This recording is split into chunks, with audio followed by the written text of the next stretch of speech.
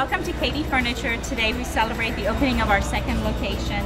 We are so thankful for so many people to have been with us every step of the way. Um, so this day has finally come. Uh, a special thank you to my parents, uh, my brother who made all of this possible, and of course our vendors and our customers and employees. Um, special thanks to Ms. Bynes for Fort Bend County Chamber and Mr. Patterson, Fort Bend Chamber uh, Commissioner. Um, today marks the culmination of years of hard work driven by our immensely talented and diverse Katy Furniture family. Our very first location was a very small retail store on Mason Road in Katy. A few years later, we were blessed to be able to move out to the Katy location.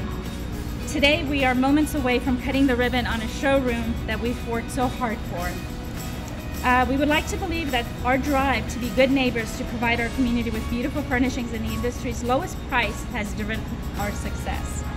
As many of you know, over the last year we have helped over a thousand families recovering from Hurricane Harvey begin the process of regaining normalcy as they re-enter their homes.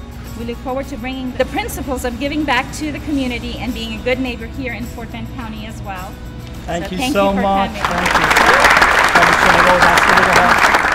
Thank you so much for coming. Just wanted to uh, it- th- tell you how much we appreciate Katy Furniture uh, moving into precinct four of Fort Bend County.